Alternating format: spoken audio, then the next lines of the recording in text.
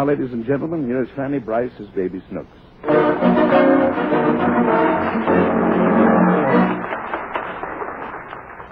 Tonight there seems to be an air of mystery in the house.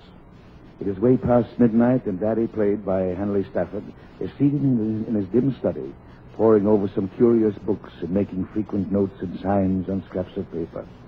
Let's him look in very quietly. Hmm. Progress moon, Venus in Mercury, definite cosmic urge.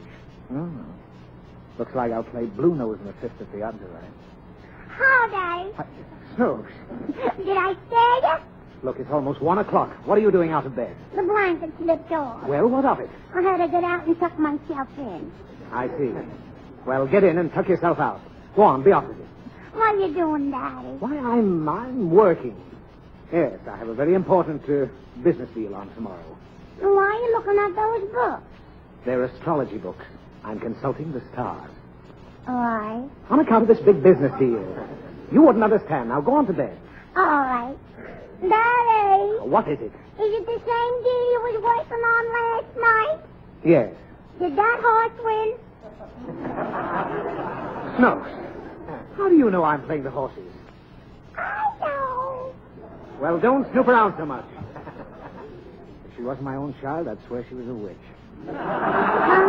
Nothing. I'll go to bed. And don't dawdle. I want to dawdle. I want to doodle, I want to doodle. Oh, stop that. And put that book down. what is it, Dad? I told you it's an astrology book. What's astrology? It's the art of judging the influences of the stars upon human affairs and of foretelling events by their positions and aspects to form horoscopes. Good night. Good night. What's horoscope? Oh, look. Take your birthday, for example. Is it my birthday, Daddy? No, Why? because you were born in August. How do you know? I have good reason to remember it. Why? Never mind why. The fact remains that you were born on the 31st of August. And that brings you under the sign of Virgo. Does it? Yes. And the day you were born, Mars was in Capricorn. I thought you was home. Who? Ma, I didn't say Ma, I said Mars. who's she? Mars is not a she, it's the name of a planet. And Capricorn is one of the astrological positions or signs. Capricorn is the goat. Why? Because that's what it means. And there's Leo the lion and Cancer the crab and. Uh... I'm Ferdinand the bull? No, that's Taurus the bull. I was born under that sign. Well, what are you laughing at? I don't know. Well, this is no time to learn astrology. You're going to bed. I'm hungry. Well, what do you want? I want some icing, some pie, some chocolate cake. Oh, you do, eh? Well, you'll take a piece of apple and like it. No, I won't. Now, listen here, Snooks. When I was a youngster like you, I didn't have chocolate cake and, and stuff like that. I was lucky to get a crust of bread. Oh. Daddy, What? aren't you glad you're living with us now? You'll never learn to appreciate anything. Why, I used to work 14 hours a day just to get the bare necessities. Get the bare what? Necessities. Groceries. Did you have a bear, Daddy? Of course not. Well, why did you have to get them groceries? I got the groceries for myself. Didn't you give any to the bear? There wasn't any bear. I'm trying to tell you how hungry I was. I was almost starved. So you know what I did? You ate the bear. I didn't eat any bears. I didn't see any bears. I just worked very hard Why? to keep the wolf away from the door. Did the wolf?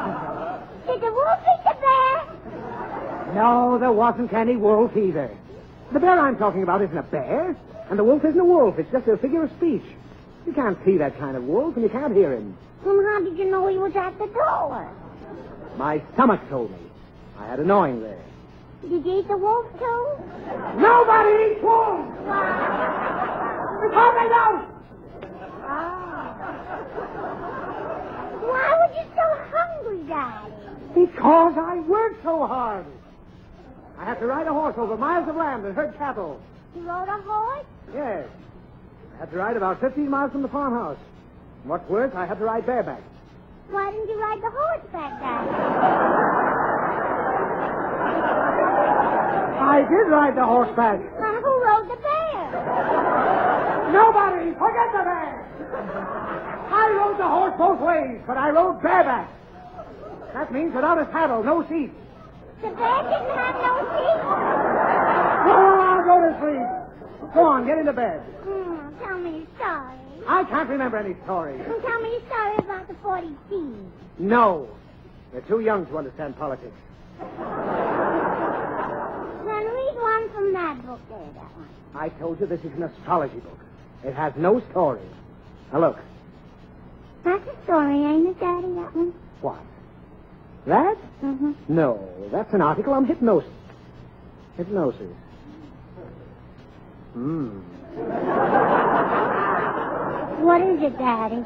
Nothing. Just let me see this for a second. Mm-hmm. Mm. Come here, Snooks. I, uh, I want to try something. Huh? Look me in the eye. I want it. What you making those faces for? You are under my spell. I am your master. You will obey me. You will go to bed and to sleep. Sleep. Sleep. What do you think you're doing, Daddy? I'm hypnotizing you. Sleep. Sleep. Sleep. I'm sleepy. Ah, what's the use? Make me again, Daddy. No. Come on. I know. I'll make you stay out of bed. No, you can't. I'll get right in. All right, get in. But I'll bet I can make you get out. Let me see you do it. Okay. Get under the covers. Now, when I say get out for the third time, you'll get out. The third time? Yes.